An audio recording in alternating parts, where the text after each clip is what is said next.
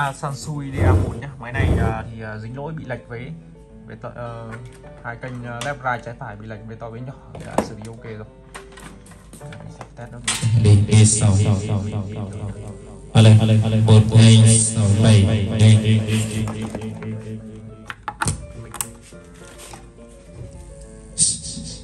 một hai sáu bảy đi cái dòng này bệnh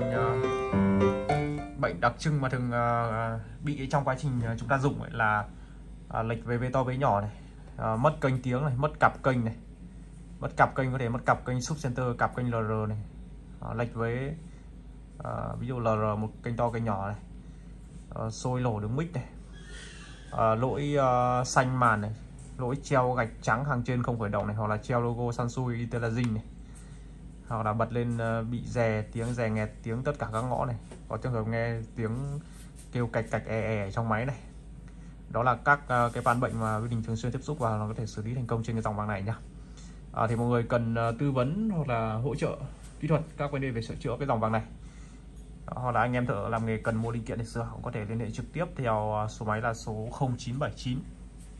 486089 hoặc là số 0868 À, 59964 đây là hai số máy của hai kỹ thuật viên chính bên mình.